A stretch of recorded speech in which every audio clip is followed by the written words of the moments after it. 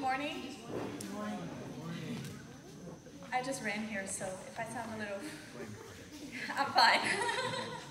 Alrighty, I hope you all are having an enjoyable National Fan, or VNF, VANFR. It's my first time here, so I'm used to doing the introduction somewhere else.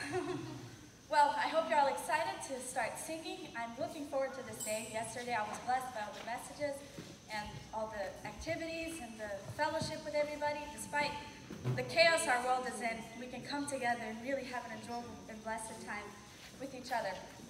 So I would invite you all to turn to your notebooks. I believe it's page 11. Come thou fount of every blessing.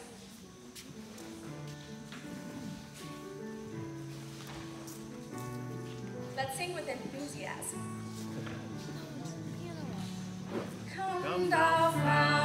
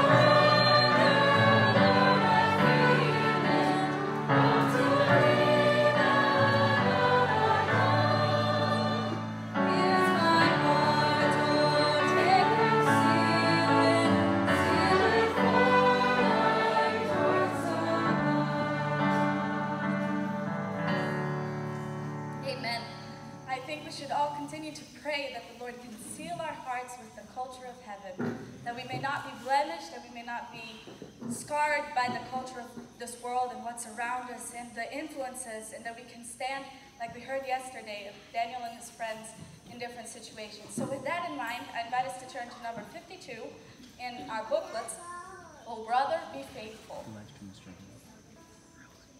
I'm not sure what the number is in the hymnal.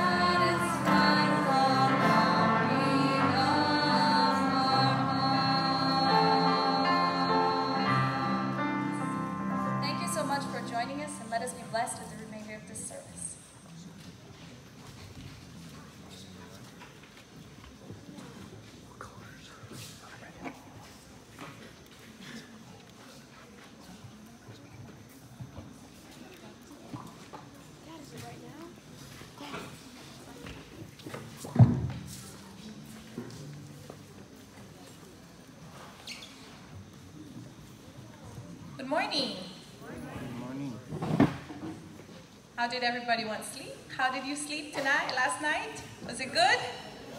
Good, restful to start our new day here. We want to welcome, if who came in last night? Raise your hand if you drove in last night. I think one family, welcome. so we want, and Angie, of course. Okay, um, we just want to encourage you to continue to wear your mask while you enter into the gym. Uh, and that's something that uh, Restoration International or, or uh, BFR want to you to do. It's just pretty much uh, the requirement from the from the park, and they require us to wear the mask when we go to those uh, facilities.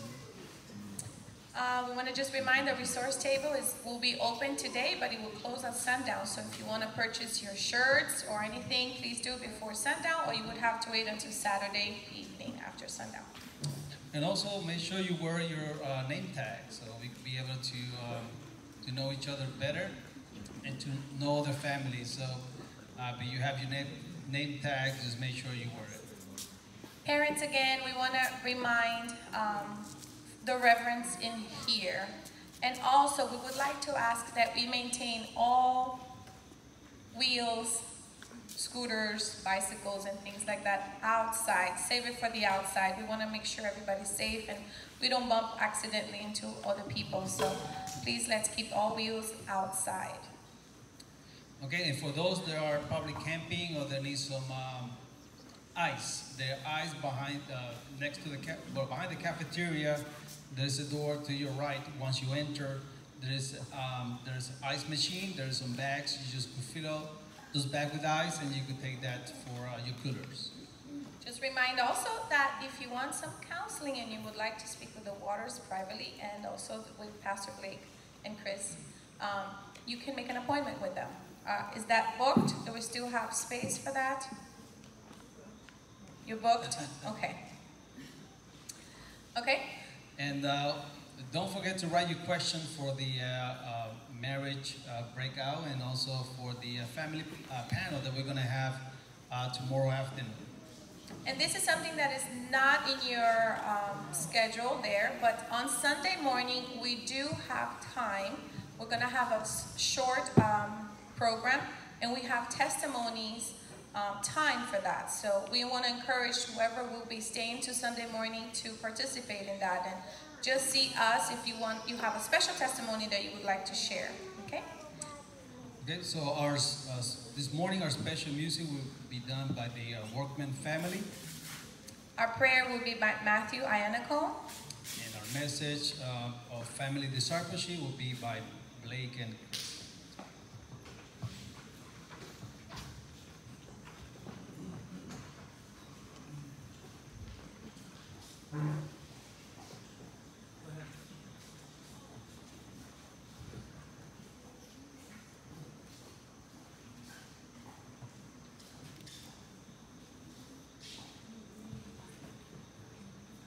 Good morning, So there's going to be two special music today. We are not the um, Workman family, but I'm excited for when they're going to play.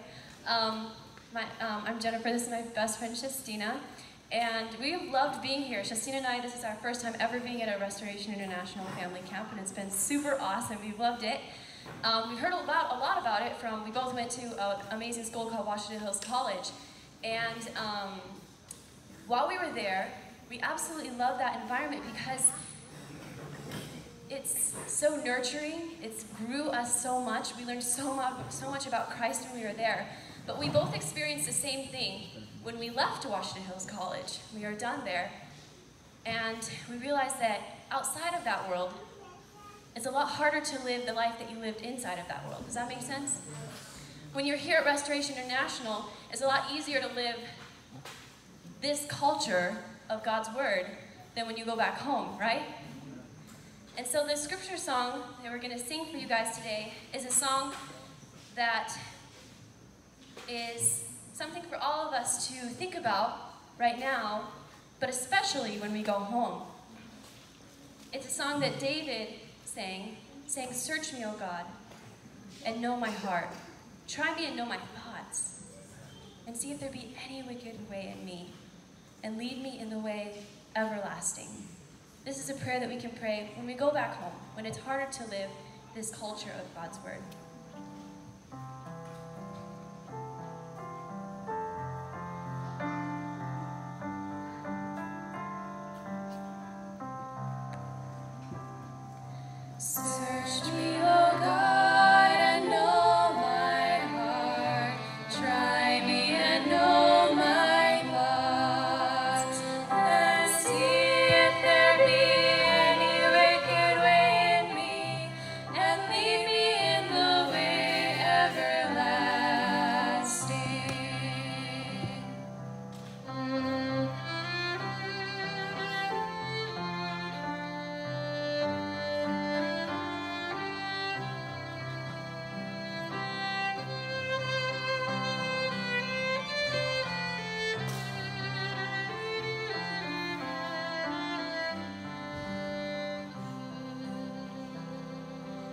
search me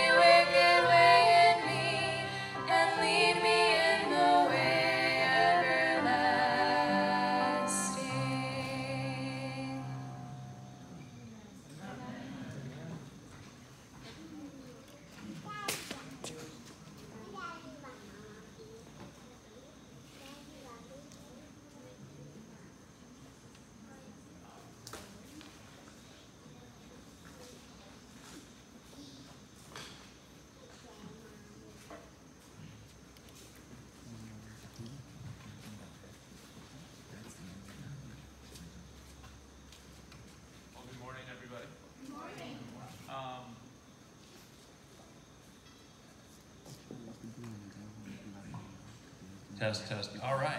I wasn't sure. I almost imagined that it was working a little bit. Um, so, yeah, good morning. It is, it's been such a blessing to be here. Um, and uh, yes, we are the Workman family. Uh, my name is Isaac, my wife Sandy, uh, my daughter Abigail, and uh, Caleb. So um, Sandy plays violin as well, but uh, she's going to be helping by holding a mic here this morning. So we don't have any mic stands, so we're going to work together on this one. Um, you know, uh, in a world where anything goes, and to each his own, um, it's kind of challenging, I think, to think of one particular culture that counts, right? I think the question that's going to come to mind, maybe to our minds a little bit, and and um, also to anybody that's uh, you know less studied, is going to be like to each his own, right? Like, why is that so much better? And um, I think, well, the theme song says it very clearly, but um, this is the culture that doesn't change and lasts forever. So the one uh, song that we're going to be playing here this morning for you is Give Me the Bible. Amen.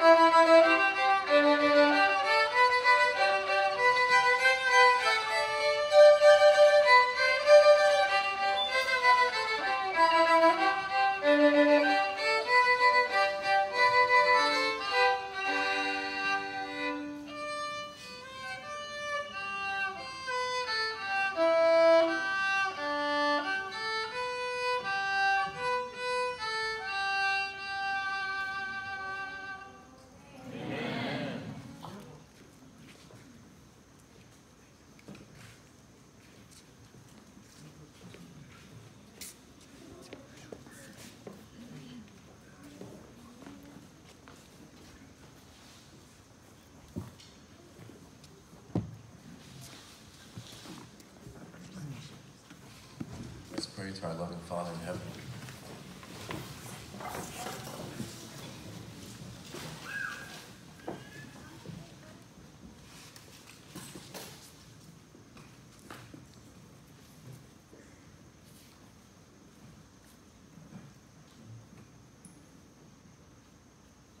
Dear Heavenly Father, come before you this morning thankful to be here. We've all been blessed tremendously so far. Lord, help us not to be selfish with that blessing, but to take it home with us and to share it with everyone we meet.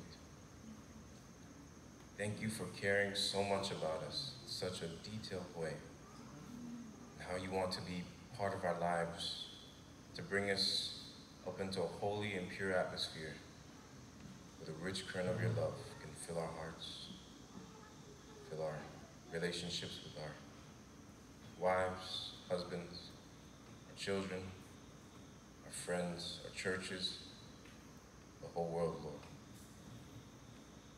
We need this love. This world lacks love.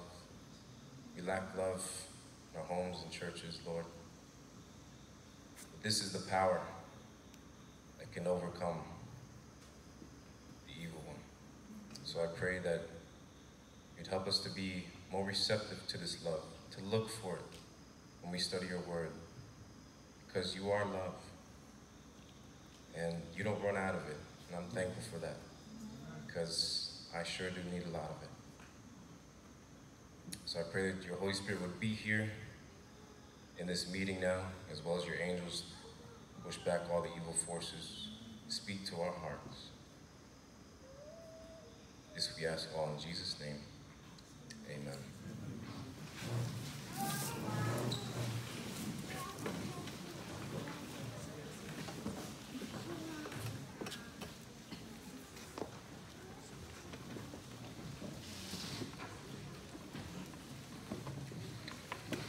Good morning. Good morning. I feel like if we didn't have anything from now on, we already had a blessing today. Amen. I am so thankful that we are here, and uh, as a musician, my heart is so filled with the music that we had experienced here. Amen. Not only today, but yesterday, I told, I don't know the name, so I'm sorry. I told the girl that sang yesterday, when she started singing, my eyes right away filled with, it's almost like you're hearing angels singing. And thank you, um, the Cleveland family, where are they at? Yes, thank you for your song and for your words. Uh, it is very true that we come here and we feel so close to God, close to each other as a family, and then we go out. And that's when things get a little challenging. And thank you so much for the violins. It's, it's, music speaks to me in a great way, and I am very blessed. I've been very blessed, and I'm sure all of you have been too. So today we're going to talk about discipling as a family and we're going to share with you some principles that we have uh, adopted in our family. Yeah, that we've discovered in our journey. As I mentioned before, you know, we're all on a journey. We haven't arrived at this uh, place. I don't think any of us can ever say we have arrived at where we want to be, because that means we're not striving, right, to go grow closer to Christ. And so we're just a family that has, uh, like like you out here, we're living in this world, and we're seeking to integrate the principles that we find in this book here uh, in our own personal lives and also in our corporate lives as a family. And so we'll be talking about family discipleship this morning. And so I want to invite you to turn your Bibles to the book of Jeremiah. So I, I was thinking this, I had a different introduction actually planned, but this morning in my devotional time, I, my, my mind came to this passage and I started studying this and I said, this is powerful and this is what we are all looking for. So let's go to Jeremiah chapter 35. Now, the book of Jeremiah, it's actually one of my favorite Old Testament books. It has a lot of narrative in it. It's a, it's a really epic story of a nation that is falling apart, a nation that has just morally collapsed, and God's judgment is coming upon them through this, this foreign power, through the Babylonians. So the context here is very similar to our context today. Now, we're not being invaded by a foreign army, no, but we are seeking to live out God's word and His culture in a world that is increasingly becoming more hostile to that and just so diametrically opposed to that. And that's what we see happening in the Old Testament, where the nation of Judah just kept sliding further and further and further away from God to the point to where God says, I now have to chastise this whole nation significantly, and it's through the conquest of the Babylonians. And while that is going on, and so the Babylonians are besieging the city of Jerusalem, God speaks to Jeremiah and he highlights a certain family to, to Jeremiah. And this is what happens. It's pretty interesting. So we're in Jeremiah chapter 35. I'll start in verse 1. It says, The word which came to Jeremiah from the Lord in the days of Jehoiakim, the son of Josiah, king of Judah, saying, Go to the house of the Rechabites, speak to them, and bring them into the house of the Lord, into one of the chambers, and give them wine to drink. That's kind of a strange uh, uh, request, isn't it? Where God says, I want you to go to this family, I want you to bring them in, and I want you to serve uh, some wine to them. So this family comes in, and uh, I'll pick it up here in verse 5. We'll see what their reaction is, okay? Verse 5 says, Then I set before the sons of the house of the Rechabites bowls full of wine and cups, and I said to them, Drink wine. Now notice their response, verse 6.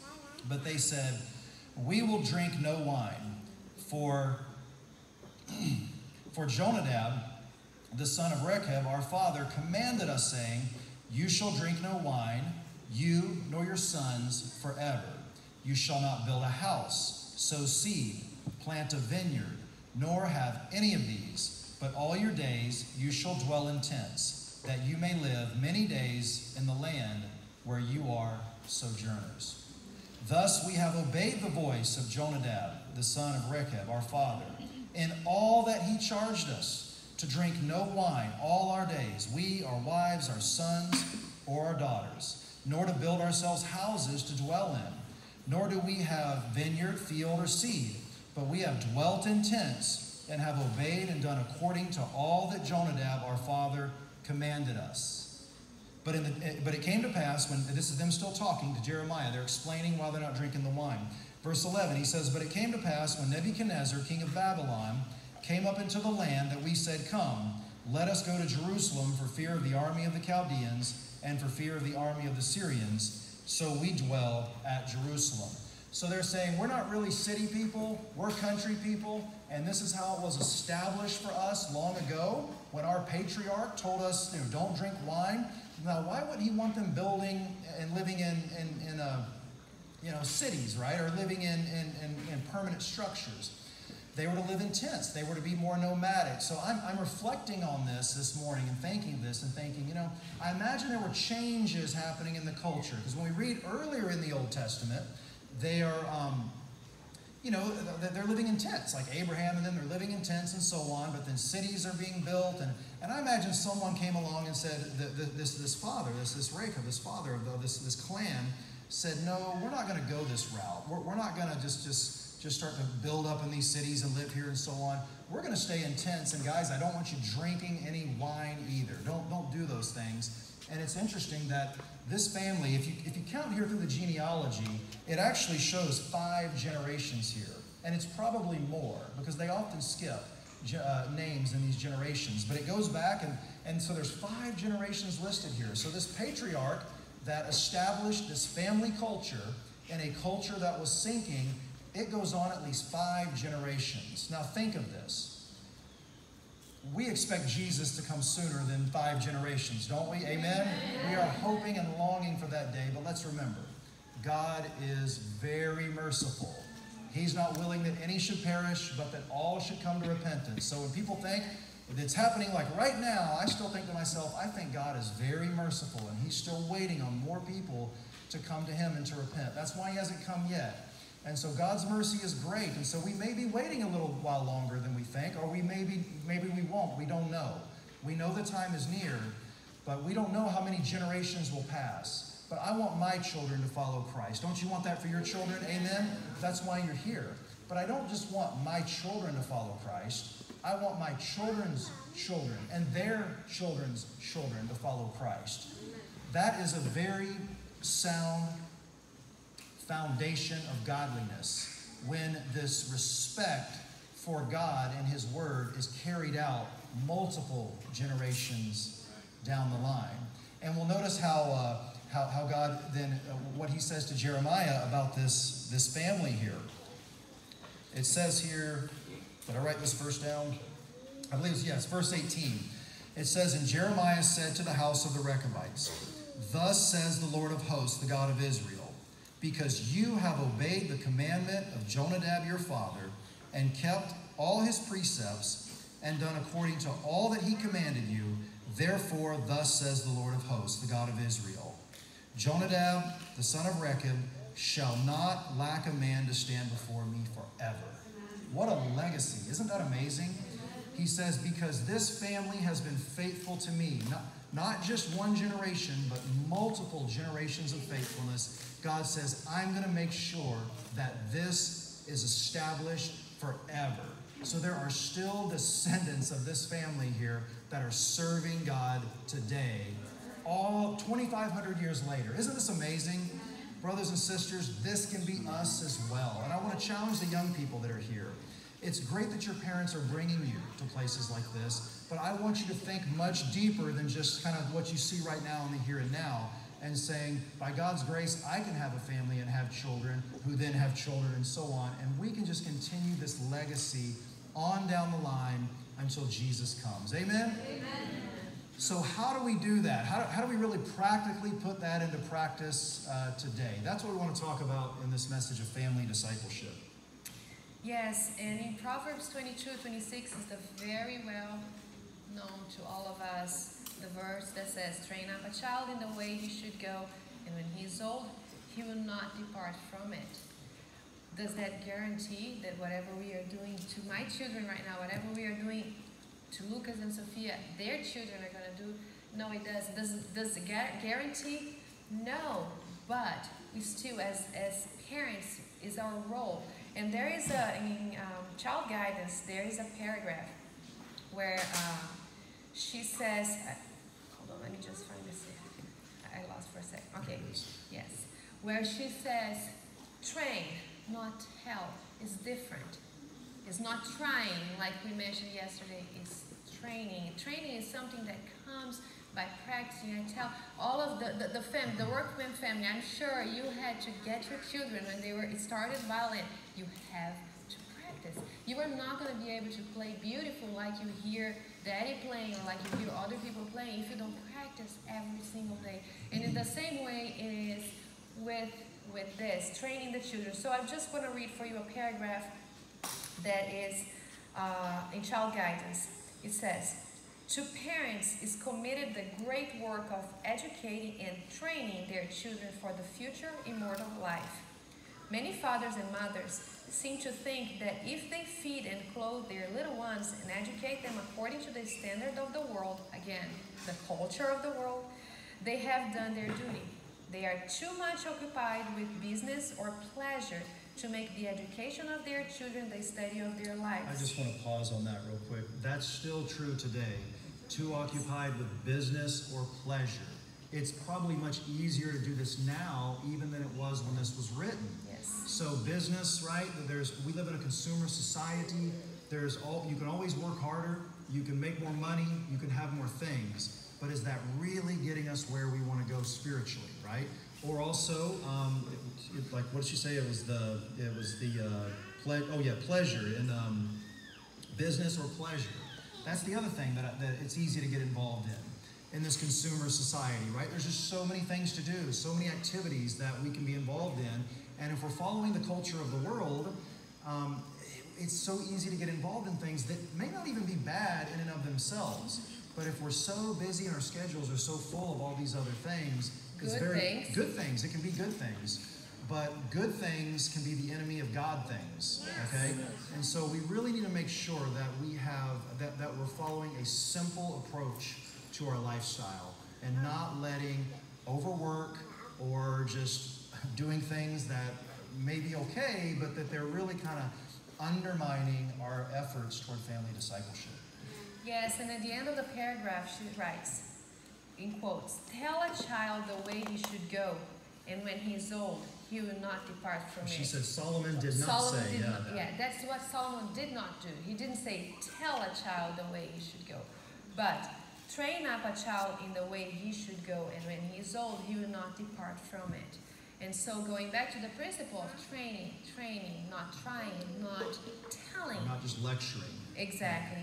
So, um, the results are not guaranteed for us as parents, but with much prayer and with teaching the kids with principles that we already have taught, we have the seed planted. And how many times have we seen? I, I'm sure many of you have seen this. I have seen with people that when they turn loose from home, when they turn 18, they just go to their go to college, do their thing.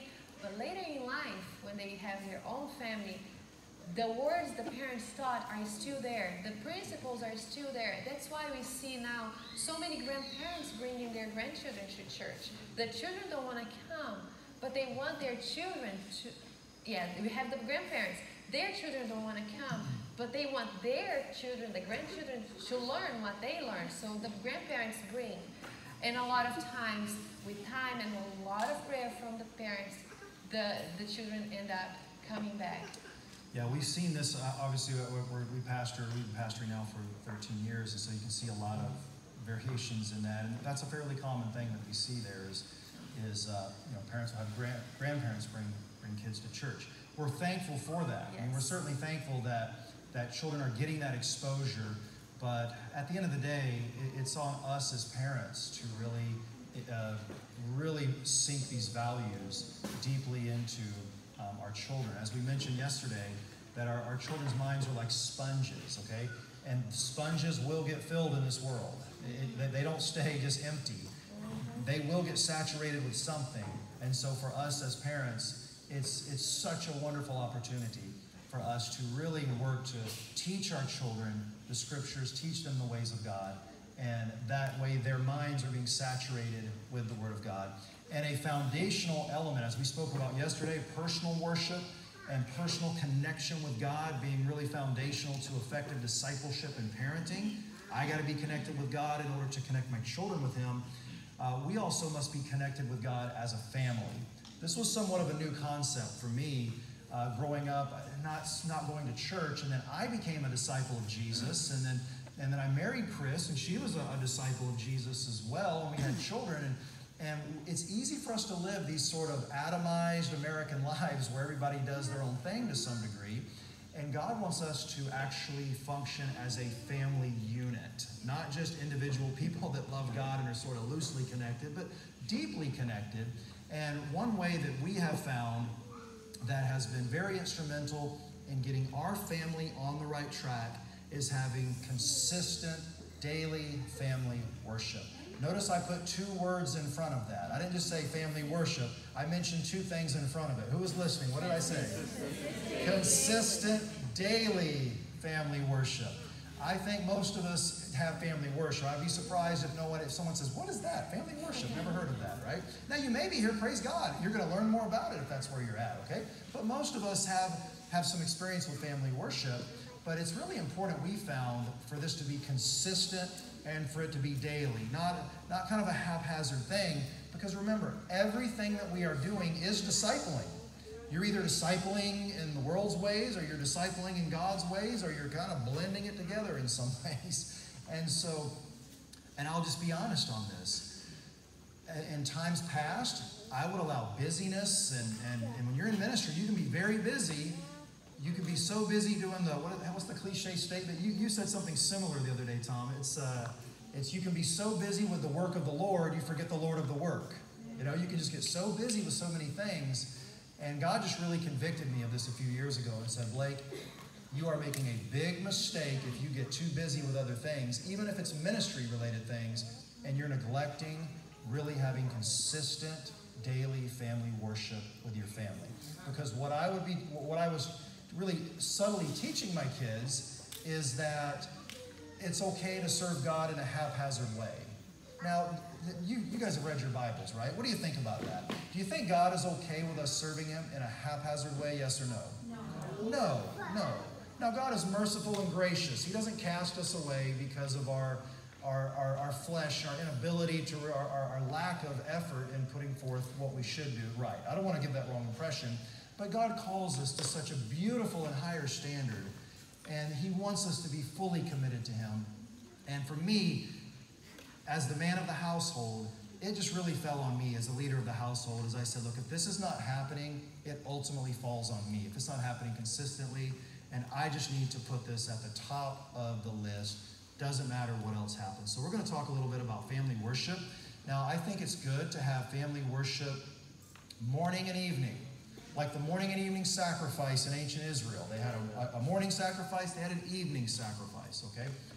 They also had other sacrifices uh, uh, throughout the day and so on. So we don't have to just have worship just morning and evening, but I think that is a good baseline to start from. Sometimes we're just driving in the car, we'll just have what we call popcorn prayer, where we'll just pray and uh, I'll say a prayer, Cris will say a prayer, and the kids will say a prayer, and we'll just pray for whatever comes to mind.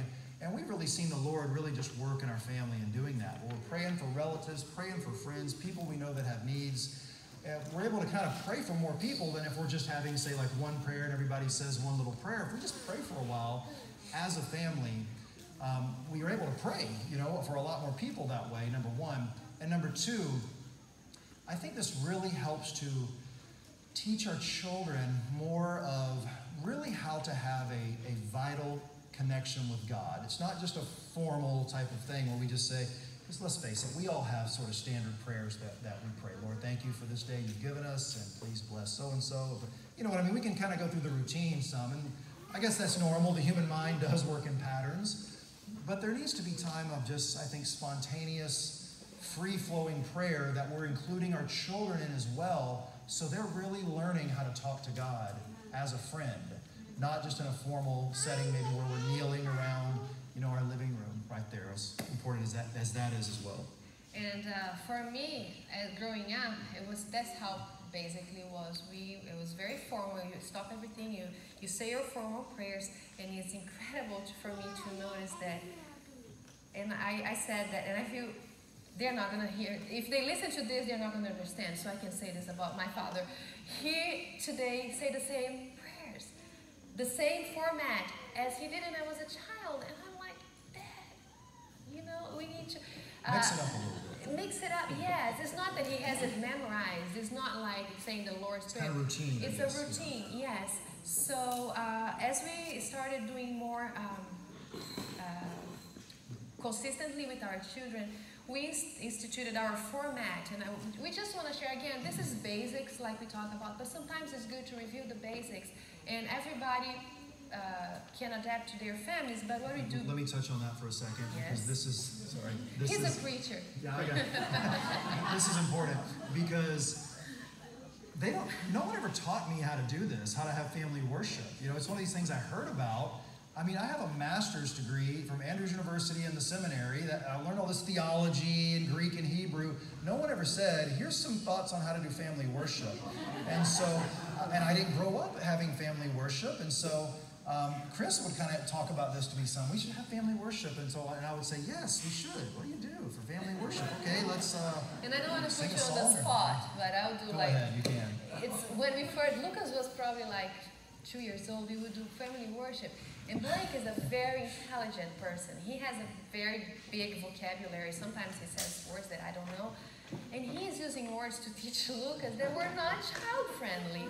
So I'm like, how do you expect him to understand So um, there was another aspect that, you know, uh, we need to bring to their language, not necessarily make it simple, but the words. Age appropriate. Exactly. Yeah, what you're sharing. I, I was giving a little mini uh, MDiv degree.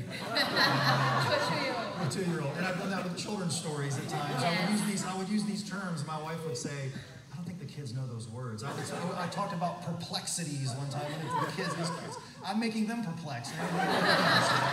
And so, yes, we, we have to bring it bring it down, you know, to, to their level. That's important.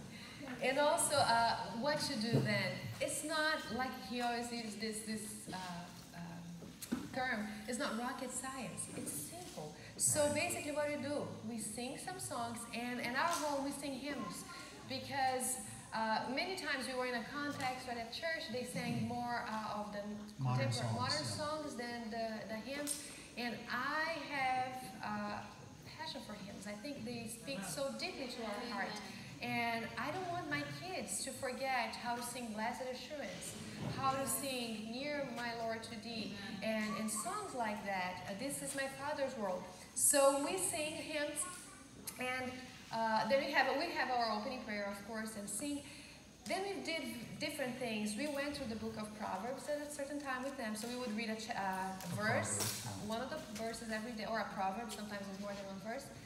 And then we study that, talk about that, and then we would pray and go on with our day. And sometimes, as the kids are growing old, they have questions that are really relevant and even surprising to us that they're thinking that way. So we tend to keep our, our time for family worship flexible.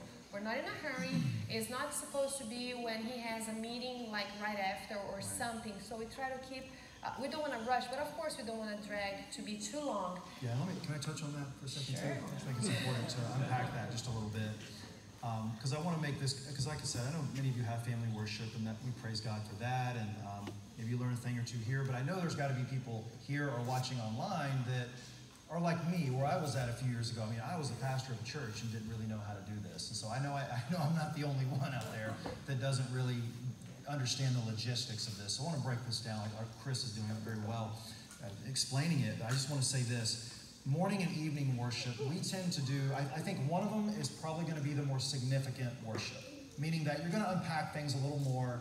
There's more time to talk and discuss. Another one uh, may be a little shorter, where you're just maybe reading a verse and praying. Now, if you can do two larger ones, that's good. We've kind of struggled with that. Um, our, our, our morning one tends to be the more significant one, where if the kids are asking questions, we just take time. We're not in a rush, you know, and we'll have. And we've seen God just really working where our kids are asking very good questions, and and we, we I can just see the Spirit of God working on my kids, you know, as they ask these questions, we're explaining them, and I can see the mind turning, and it's a beautiful thing to see, you know. That is for our morning time, so we don't drag it out, make it, you know, long intentionally. Sometimes it's, it's short, but if, if the Spirit is moving, we let it go a little longer. So I think there should be one where there's going to be some flexibility to how the Lord leads. It may go a little shorter, may go a little longer. Now, my work schedule is different. Being a minister, I work at nights, you know, a lot, and so mornings are better for us. But for most men, I think it's probably going to be evening, maybe a better time to do that. The morning one may just be, be more of a let's read a verse, uh, let's have a prayer. It's maybe a shorter one if you have a lot of activities in the morning. But I would just say have one of those times to be a little more open ended. And that may mean you start a little bit earlier before bedtime. So you have some time to talk and discuss. And one advantage, especially when your kids are young, I don't know how it is when they get older, but kids don't seem to like going to bed. Have you noticed that? They always want to kind of stay up a little more. And so you can kind of almost, it's like, it's almost incentivizing them to ask some good questions and keep things going a little bit because they'll kind of try to stay up a little later for bedtime. And so we have to discern, is this really a sincere inquiry or is this more, now, what about this? You know, okay, Sometimes it's time to wrap have it up and anything let's go to bed. anything So- to do with the subject. And so when we first started out having, you know, family worship, we also found that it was easy for tension to come into family worship because of our kids were, were young and they were being kind of wild. They were just kind of, you know, interrupting or bouncing around. And so, and we would say, stop doing that, sit down, I'm family worship, her, you know? And I'm thinking, okay, this is not, I want this to be pleasant. This needs to be a very pleasant and happy time. But yet I was noticing both me and Cris getting kind of frustrated and it not always being as pleasant and as happy as we wanted to. And so now some of you may say, you didn't know this before, Blake? No, I didn't. This some things for me, it just God's got to kind of knock me in the head on some things. And I just thought about this, and I came up with this concept of like front end discipline as opposed to it sounds bad to say rear end discipline, we think that, but I mean like on the back side of things is when they're already done something wrong, you're telling them you shouldn't have done that and so on. I would notice, okay, what's the what's the what's the things that happening in family worship that are kind of causing the tensions? And I made a list of rules. I wrote them down, and then when we started family worship, we would go over those rules, and then we, we would have the kids memorize this, and, and we still do about once a week, we'll still go over the rules again because kids leak, right? You can teach them, but the, the, the lessons tend to leak out. They have to be continually reinforced. And so we're going to share these rules with you, and you, you can probably get an idea as we go through these rules what our worship was like and what was happening before we implemented them. This applies across the board, not just with family worship. You can do this with any kind of behavioral issues that you're seeing with your kids. Just think about it. Okay, what's happening here? And let me be positive on the front end of things and just kind of share with them look, here's what we're expecting of you in this situation and make sure they're clear on that. And, brothers and sisters, God's working in our kids' hearts. Our kids genuinely do want to obey, and, and they, they, they, they want to be good kids. But just like us, they can get distracted and not thinking and so on. So it's helping just to kind of reinforce what's expected. And if we have more front end discipline, we have less on the backside discipline. I know that sounds. I mean, I didn't mean it to sound. Actually, literally both, right? Well, so we came with eight rules, and uh, they're pretty self-explanatory. You understand why we put them there. But the first one was come immediately when you're called for worship. We do usually after we eat breakfast. Um, sometimes, depending on how his routine is, we need to do before. So we, he can eat faster and leave, but most of the time is after.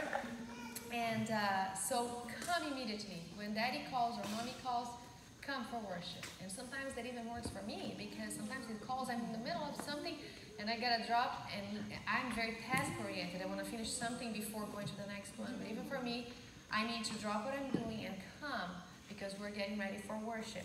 Then the second one, no objects in your hands. It's very easy to get distracted. Look at this toy. Oh, Dad's talking Yes. about the Bible. And I even like my teddy bear. Yes. Oh, we don't, we don't things in our hands. Let's pay attention to what's Yes. going on and not have distractions. And I try to think of a more positive way to write these rules, but we just left as is. So that's how they came out. So no objects in your hands. Have a good posture. You, we don't. and all this, we're having a lot of this and and worship. Okay, Yes. let's let's sit up and let's have good good posture. You know. And that helps with the focus too, because all of you musicians out here, who had, mostly whoever had piano lessons, the teacher always said you gotta sit with a certain posture. You cannot sit like this when you're playing the piano because the sound is not gonna come the same because your hands are gonna be lower. No, for everything you do, you have a good posture. So the same thing for the worship. Stay in the same seat. This was more particularly for one certain person, The little one. the little one. Bounce around. Now I'll sit here. Now I'll sit here. Now I'll sit here. Yes, mommy's lap and then daddy's lap and all that. So we stay on the same seat. That you started, so you Yes. can sit where you want, but where you start is is where you'll be. Yes. And I'll be honest, we do give about one little grace period on that. So if you decide to sit in my lap instead of mom, that's okay. But we're not going to be doing this a lot. It was a lot of movement, and so we just want to keep things focused. And so, see, I told you, when we go through these, you get an idea of what, what the issues were in family worship. Come on, kids! I said, come, come. Get that out of your hands. Stay in the same seat. you know what I mean? So he's put these on the front end, and I'm telling you, it just made such a difference in our family worship. We just saw it was much more orderly. You know, we're, we're told that order is heaven's first law, right?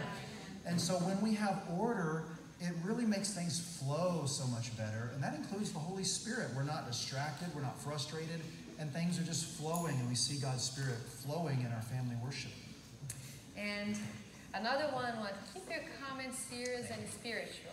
This was mostly when we had those questions coming because they wanted to delay that time. So keep your sometimes questions that didn't have to do with what we were studying. No, we're gonna keep or trying to be funny or bringing up some story, Bible story, but it doesn't have to do with that. So keep your comment Focused on what we're talking about. serious and spiritual. And do not interrupt. That's the basic of life for anything. So don't interrupt while somebody's talking, making a comment. You don't just interject without uh, waiting. Be reverent during prayer. That's basic. And have a good attitude. Because sometimes they were in the middle of something. You call for worship and you, know, howdy No. attitude. No have a good attitude. We're not here to have a casual uh, family meeting. We're here to honor God with our worship, to worship Him, and this is a time that we devote to Him. So we have to have a good attitude. So again, these were basic, simple things that, uh, in our experience, we figured out we have to do. And he was the one who came up with, wrote down, and along with the kids too. And we made them repeat. Sometimes they repeat just to remind us. Sometimes we have people with us doing worship, Yes. and we go over, and they were like, "Oh, that's a good idea for my grandchildren or for my kids. Yeah, it's a great way to disciple other families. Yes. So when you have other families visiting, you can have worship, and then we always go over the rules, and we have other families with us. So number one, we're all on the same page, and you're also discipling other families because they probably have some of these issues too, and they can see, oh, wait a minute, yeah, this this does make things go in a much more orderly fashion. And I just want to mention something uh, about also the whole worship. Sometimes can be daunting for kids because we're mainly, uh, depending on the subject you're studying, is complicated or not. But what we do, we let one of them lead the worship. So different times, Lucas. Not always, Not always. what we do. But yeah, basically what they do, they will pick whoever is going to do the initial prayer, what hymns they want to sing, how many, if it's going to be one or two or more. Um, and then when we were reading from the, we were we also read the, you know, when you go in the back of our hymnal, that are the responsive The scripture readings there. Yeah. So they would read whoever is going to read the black or the, the lighter version, uh, the lighter verses. If it was the boys and the girls, whoever's sitting on the couch, whoever's sitting on the chair. So and they would pick that. It made more interesting for them and also exercise their leadership.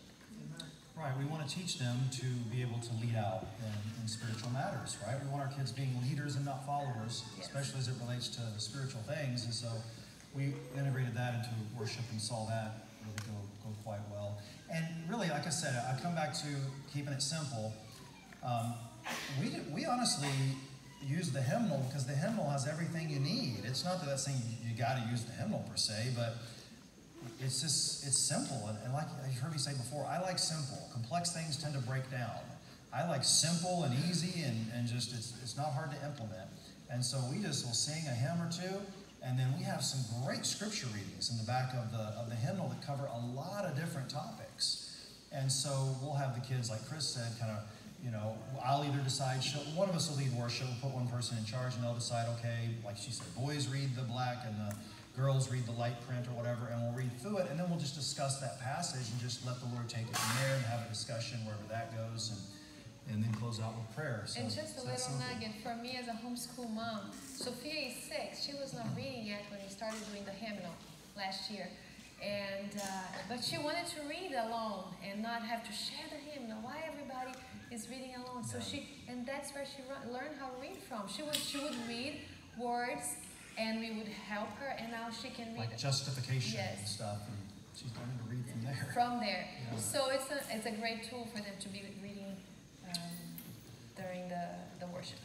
Right. So this has been a big part of. Uh, we've we've just seen how this has had such a positive impact on our family as we've done this. Remember those two words: consistently, daily, doing this. Not just oh yeah, we should have a worship. It's been a couple days. Let's sit around and do this. And what are we going to read? And uh, that we, that's how I did it before, to be honest with you. But when I said no, we got to do this consistently and daily, and we have a, a routine. We know what to expect. We know what the rules are. It has done such a positive, hasn't it? It's Oh, been so positive for, for our family in so so many respects. And so this is about you know building up, right? We want to build up, but we also need, as we talk about family discipleship, we have to be careful that we're not allowing things to tear down what we're building up. So, for example, let's say um, you know where an, athlete is training, like Paul says, we, the, the text we mentioned yesterday, I believe it's first Timothy 4 7, maybe I forget. You can look it up where it says, uh, train yourself for godliness or exercise yourself for godliness, right? And he uses that illustration there of like uh, an athlete who is training. So this is a part of building up ourselves spiritually, building up our family spiritually, and training. But we don't want to tear down. So imagine if an athlete is training real hard to go to the Olympics, maybe a marathon runner, and he's running and he's got his routine, and he says, I think I'll go by McDonald's and just get a milkshake when I'm done here and get a cheeseburger and so on.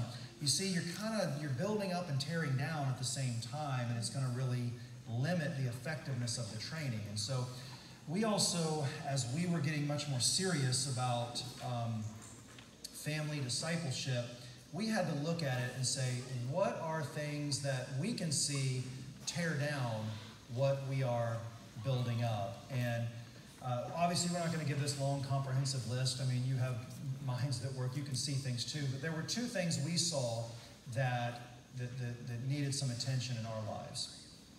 Yeah, the first one is a big one. We already talked about you, uh, Tom and Elaine touched on it, And anywhere that you sit to talk about family, this comes to mind, and it is media. That's a big way, and it's like it's kind of a, a two, how do you call it, the sword? Uh, Double-edged sword. Double-edged sword, because I think media is a good tool.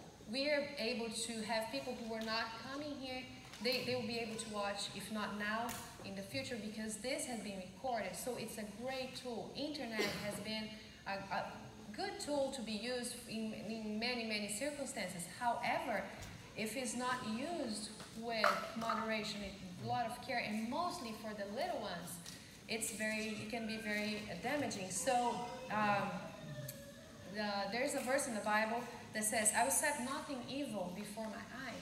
And that's what is so available out there with the internet, with, the, with media and, and videos and movies and all that. So this is something that we decided that we really need to be very careful. I mentioned yesterday, we never had the TV at our home. We have the TV for videos. We, uh, we used to have the Glory We used to Star. have none, and Yes. I had this impulse buy where it's like literally, um, what do they call that? Black Friday or something?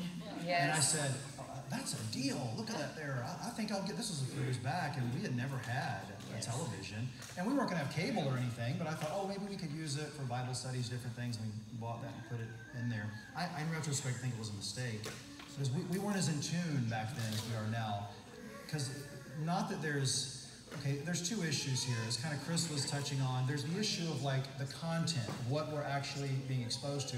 We were always very conscientious of that. We don't want to expose ourselves to things that were not good. But there's also just the time spent Yes. doing this, and and it's actually I think this this this undermines um, development of our children if they're if they're if they're staring at screens, you know, then they're not going to be as creative. They're not going to entertain themselves. Yes. They're not going to you know, and so um, we we those are just obviously we can't get too deep into this because it's a it's it's one message and this is just one element. Yeah.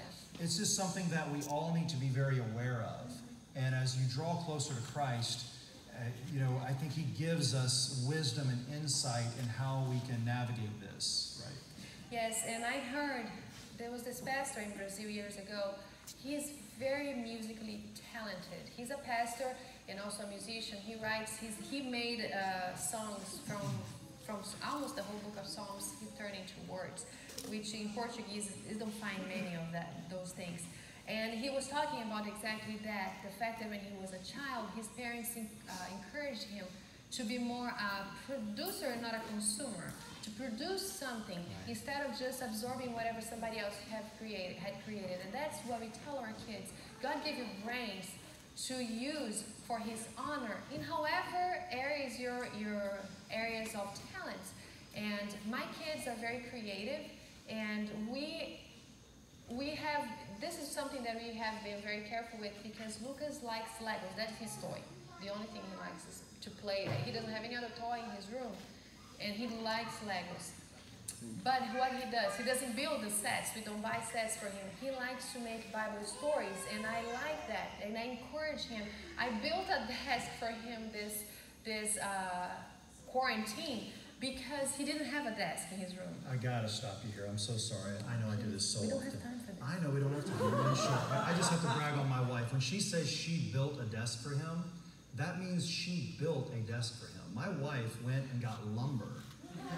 And actually, I bought the lumber for another project and never used it. So she just used what we had, okay? And she literally built this incredible desk with her hands. Like her and her friends designed plans and she built this. I just wanted to brag on you because that was really impressive. I couldn't build desk. Thank you. She literally built this big desk for Lucas to, to build his Lego sets and so on. Well, thank you. Ah, okay. anyway, uh, I do like working with my hands, and I, and I want my kids to be that way too. You know, I cannot sit around seeing things to be done. That's why I asked Betty, uh, "What can I help you?" or or Kayla, "Can I help you with?" Let me take my, you know, I want to help. I want to do things, and I want them to learn how to use their gifts. And I thought, Lucas doesn't have a desk. If I'm going to buy a desk, it's going to be expensive and it's going to be one of those that the first time you move, the thing breaks. so we had this big 10 by, it was, a, It was it was big lumber It was for- 10 foot long and those like an inch and a half uh, Heavy duty. This will, this will, this desk will stand a Florida hurricane. Yes, he will, take, he will go through college and everything in this thing. But it's a six foot long desk for him to spread his legs around. He can build the the uh, Pharaoh's uh, Yeah, he has the palace here. yeah. He has all that. because I want to encourage him to do that. What he does, he takes the pictures with uh, and then he makes his little stop motion movies. And even that, he has a limited time. And that's another thing we're careful with the media. We don't want to take too much time because this is so obvious. And we have people like uh, uh, Scott Ritsema who has a whole, you probably have heard him, he has a whole talk, a whole series of videos on this. Uh, but we, this is something that we wanted to be very careful with our kids, to be careful the time that they spend, even creating. Uh, there are some things that we allow them, Blake was talking about that, but we want them to use media the littlest as possible for things that they are creating and not necessarily absorbing and just getting from other people. We want the sponge to be filled with something that will help them to create and not just to sit there. Yeah, so that's just, just something I think all of us as parents have to be cognizant of is um, we, you do not want the screen babysitter. That's just not, it- it's convenient sometimes to say, watch this and I'll go do something else. But really, um, we just need to structure our lives in such a way that, and our kids' attention span so that they're, they're satisfied. That, this is all tr- also true for us as adults as well. What we train ourselves toward is what we will like. And so if, if, if we are just so uh, uh, you know, into what's happening in the news today and, and what's happening on social media. I'm telling you, you guys know this. The, Satan is just setting the world aflame with anger today. And so there will be, from here on until Jesus comes, there will be more stories, more videos, more negativity, and it will just continue to fan the flames of anger and division in this society. It's just going to keep happening. It's not going to stop. Don't think that we're going to finally find some place of harmony. It's not going to happen because Satan's behind it. He think about this. People know about what is happening in California if the media thinks we should know about it. So the media can highlight some story uh, that's of, of like two people getting into an argument in Central Park. There was one on that one recently, and now that is not only national media, that is international media. People are uh, uh, seeing this around the world, but they don't even know who their neighbors are, right? And so we sometimes get disturbed at what's happening in the world and say, "Wow, this is bad what's happening in the world. And, and Cris was sharing some about this, you know, kind of distressed about the world we're raising our kids in. And I could tell she was a bit distressed. And I said, Well, honey, at, on Lodestar Street, everything's fine. So we just have to remember what's happening here because this is what's really relevant. And I think this world would be a better place if we focused more on the here as opposed to what all's happening out there. Because all of this comes through a media filter. Yes. The news is all selectively filtered. That means, to a significant extent, it is propaganda. Okay? It is not giving us an accurate view of reality. It is giving us a picture of what people want us to think is reality. And many people, including many Christians, are buying into this. And I can see this angry spirit of the world coming up in many Christians. Brothers and sisters, the anger of man does not produce the righteousness of God. We need to turn away from these things and disciple our children to turn away from these things uh, as well. I think we should get into this one. And let, us touch on these kind of briefly because I want us to finish the. the Yes. All right. talks, and then let's finish. yeah, let's wrap it up. No, it's okay. I can talk too. So, uh, another. So we, we've been talking about the things that build us can build up, and at the same time be careful with what can bring it down, tear it, tear down whatever we are trying to build up. And another thing that we thought was very important, and mostly for us as in the ministry, because we don't have control of who we are associating with, which is the association associations of our kids with people with with contexts, different places and languages and all that. So language not meaning not Portuguese and English, speak, but yeah, you know how people talk. Yeah. So and there's another verse in the Bible that says bad company will corrupt good character. Mm. So we we very intentionally try to choose the friends our kids have by choosing the friends we have. Mm. We are hanging out hanging out with we, we hang around people who have similar mindset than we do. So if they have children, we know that someone is not 100% There's similar values. Similar values, yes. Yeah, yeah, and, and with that too, because we're going to also talk a little bit about mission work as well, and, and we'll get into that in a second. So this isn't always 100%, right? I mean, we, I don't think we should just isolate ourselves um, because, and only, only be around people that are just like us, because we need to be salt and light in the world, okay? If, if there's a light on in the woods, but there's no people out in the woods, the light is kind of useless, right? The light needs to shine where people are. So we need to be where people are as well. But especially as children are younger, we just need to be aware of associations and what's going on there because we found it, it can be just little things too, not, not even just big. I mean, it can be bad things sometimes as well. I'm telling you, the the explosion of these screens everywhere and how common it is, unfortunately, for parents to just hand a device like this to children. And I have seen many times, more times than I can possibly count, children just on YouTube and just scrolling the internet without any filters, any restrictions, going wherever they want. This is a potential for a, a, a moral disaster, okay, to happen because Satan will be right there guiding that young mind into things that will be very damaging. And so, um, if, if, if for this reason alone, um, but it's not the only reason, we just have to be aware of where our children are, who they're associating with, and what they're watching. And so, if we see, like at church, some kids on a screen and our kids come over there, no, we go over there and pull that back because I don't. My kids will see nothing on something like this that I am not 100% aware of and in control of. And even then, it's very, very limited because I don't want them, even if it's a good thing. It can be something, we were watching some videos on, uh, on Adventist history, you know, our church's history there, and, and William Miller and so on, some short videos. And my son's really fascinated with history. So that's a positive thing for them to see. So I'm not saying it's all bad by any means. But even then, it can be overdone what is good. And so, oh, I want to watch some more. No, go, go play outside and do something like a normal kid, like kids used to do. Not, you know what I mean? Like kids did for like all of human history until the last 20 years. And one or so. principle that we teach them, uh, movie that you see, it's not going to be faithful to what is written. If you read a book, Like a Bible A movie Bible- or Bible something movie, like that. yes. Yeah. This is what's true, not, Yes. not somebody's rendition of, of this. because why? They want to sell, and what they want to sell things, they want to make it more romantic or more uh, interesting and entertaining. And sometimes the truth is not all.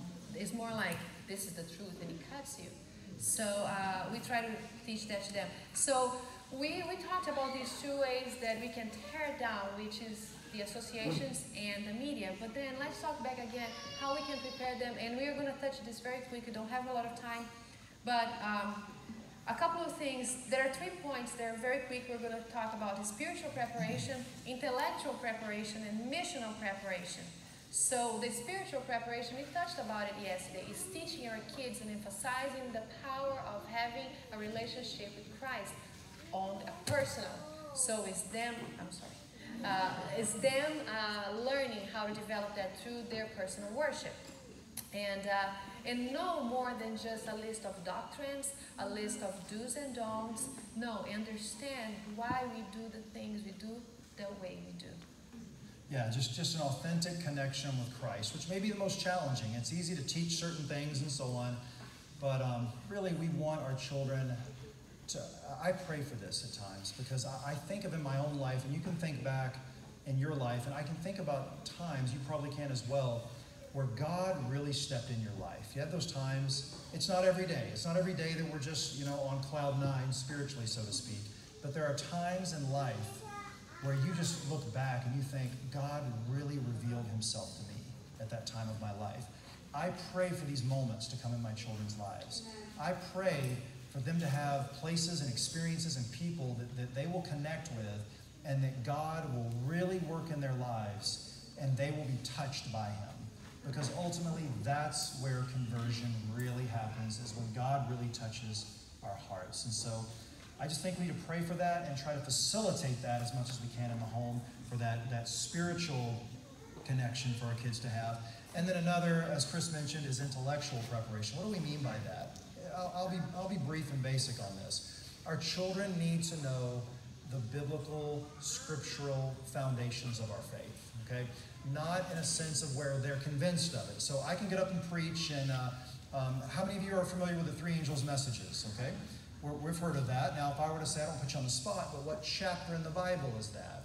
I've asked people that a lot, and they'll go, um, it's in Revelation somewhere, isn't it? Or Daniel, or, you know. The thing is, we need to have an understanding of this message, brothers and sisters. A, a real uh, a, a understanding. We know where it's at because we've studied it in the scriptures. We, we know the biblical basis for our faith. And I've read that, and I agree with this statement, that we know something to the ability that we are able to explain it to someone else, okay? Amen. So someone can explain something to me, all right? Let's say my wife is a pianist and she can say, hey, uh, here's how you play the piano and give me these concepts. That doesn't mean I can play the piano, it just means I understand it. Or someone could talk me into something, right? Maybe someone here is an electrician. He can say, Blake, I want to explain to you how the lights get turned on and how the power comes from, you know, and they can explain it to me, but unless I can explain that to you, I really didn't get it. You see what I mean? I just was convinced, oh, uh, this guy told me it works this way. I believe it, right? And someone says, well, can you explain it to me? No, go ask him, right? I may be convinced of it, but I don't really understand it unless I can explain it to someone else, okay? So, brothers and sisters, our kids need to understand. They need, we need to study the Bible and to really have a good intellectual knowledge of, of, uh, of the scriptures. And one of the best ways to do this is to share it with others, right? God gives so that we can give. I always like to say that God does not want to pour his blessings to us, but through us. Okay? When God called Abraham, he said, I will bless you and I will make you a blessing. And so, the final point of this spiritual building up that we want to talk about is uh, this missional preparedness. So, uh, sharing our faith with others and also serving other people. And my wife has a real heart for this. She has a, she's like her mother. Both of them have a real servant's heart. Sometimes I have to rein her in sometimes, say, honey, we just can't do that for everybody, honey. But uh, I'm glad she's this way because it disciples our children to be giving, right? That's how we learn how to not be self focused, is by doing things for others. And that requires sacrifice a lot of times. It, might be sacrifices of things, of time, which time can be very tricky because we want to disciple our kids and, and have our time devoted to them. But also, I really do think it's important to teach our kids that we need to take some time to serve others. Not everybody has mommy and daddy like you have at home, or not everybody has the things you have or has food in their table like that. So um, uh, my mother was like that, and I remember one of my earliest memories is going on a Saturday afternoon. My mom is very much of a Dorcas type of person, you know, Dorcas from the Bible. She gathered stuff from people who have things to donate. She would gather to help somebody who needs. So there was this family, they had a little house, there was a holding still, still it's above the ground and all, and in Brazil it's not very common to see that. And I remember, I still remember the floor. You could see the ground because it was just woods, planks put together, and there was nothing in that house. And my mother and some other church members on a Saturday afternoon, we went there. We helped to bring bed for the children and some food and fruit and all that. Uh, and I like doing that I, because it's important to do that, not because we're helping, but we're blessed. And sometimes we hear these stories of the people we were helping or blessing, and is a blessing to you. And I want my kids to develop that in their hearts too, that we don't need to think that the world is here to serve us. We need to go and serve others. And, and as Christians, we have such an important message, much more than things that we can share. Mm-hmm. And uh, the mission minded, um, uh, we need to not only have an re-emphasize to our kids and having wisdom to balance in time that we spend to that too. Right. Let's talk about having fun, because then we're going to wrap up. We had um, it's been uh, 56 minutes and 28 seconds and counting. So, you know, but I want to tell you everything I know about family discipleship, and I can. But you've about got everything I know. Maybe not everything. I can unpack it some more, but like I said, this is the fountain. I don't like complex because complex breaks down. So I always try to think, how can, how does this really work, and how do we really make this simple and applicable and this is basically, you know, what we found as family worship, um, that, that personal relationship with God, emphasizing personal worship with our kids, teaching them the, the, the, the scriptures, the doctrines of the Bible. I want my kids to know this book inside and out, okay? Memorizing the scriptures, mission and serving others. But this last one is pretty important too, and that is having fun. Our kids need to see as they grow up. I want my kids to think, I want to be a Christian when I'm older because it was, I had a wonderful childhood. I had a great time as a kid. We were always having fun and doing fun things. You know, I don't want my kids to think that fun is had in the world. That's not really fun. It may be fun for a little while, but there's a big price tag that comes with that kind of temporary fun. There's a lot of pain associated with it. With the kind of fun we can have as Christians, it's beautiful. There's no price tag associated with it. It's all free, bought for us at the cross by Christ. And he invites us to live this abundant life. Remember, Jesus said, John 10 10, I have come that they may have life and have it how? More. Abundantly. Jesus wants us to have an abundant life. So I love what Tom and Elaine share of taking half an hour a day, recreating with, with their children. We're, we probably should be a little more structured. We're not as structured with it, but about it, we spend a portion of our day every day with, uh, with our kids doing something um, that, that, that we enjoy, we have a good time doing, and uh, we just feel that really bonds us all together uh, very greatly. So, you know, I'm going to close with one last passage here. This is going to be in, in Genesis chapter 12. This is God's call to, to Abram. And he says here, Genesis 12, verse 1 and 2, it says, Now the Lord had said to Abram, Get out of your country, from your family, meaning your extended family. Sometimes people don't always understand, right, what we're doing. We have to be willing to step out of the culture, even if it's our wider extended family, our friends, and so on. We still got to step out and follow God by faith. So he said, Get out from your country, your family, your father's house, to a land I will show you. I will make you a great nation and bless you, and make your name great, and you shall be a blessing. That sounds good, doesn't it? I want God to bless me, Cris, Lucas, and Sophia. God to bless all of you. And God wants us to be a blessing as well. Amen? Amen? So, as we're seeking to disciple our children, let's also disciple other families, other people around us. And that, will, I think, will really help our children and us as well. It's not just them, it's all of us to just really be connected with Christ. Because wherever ministry is being done, whenever people are being served and helped, that's where Jesus is. Amen? Let's take a few moments to reflect um, on uh, this topic. I prayed that God would give us ideas as we shared, and I also prayed that God would give you ideas, because sometimes I've been listening to messages before, and that'll generate ideas in my mind the speaker didn't even say. So I pray that's happened here with you, that there's ways that you can see where you can help to just grow more and more uh, in this area of family discipleship. We'll reflect on that for a moment and then we'll close out with prayer.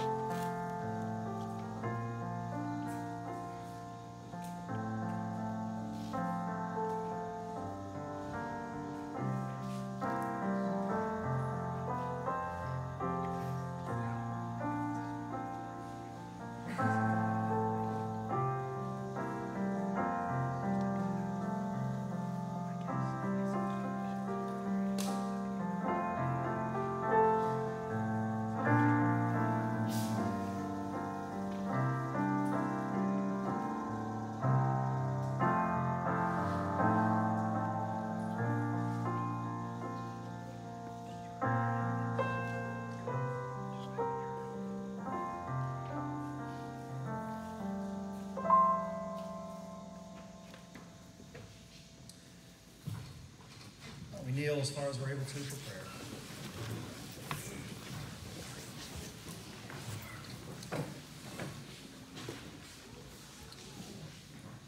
Thank you so much, Father, that Jesus came and called 12 disciples. That was his spiritual family. And then they have discipled others who have discipled others who have discipled others. And here we are today, Father, a part of this great web of the family of God. And Father, thank you for the families that each one of us here are a part of, that we have, Father. We pray, Lord, that you would help each one of us, Father, in our goals and aims to disciple uh, each other within the family unit, that we would all be together when you come, Father, and that we would help others to be ready for this great and wonderful day that will soon come upon us. Help us in this uh, effort, we pray, and we give you thanks and give you all the glory. We pray in Jesus' name. Amen.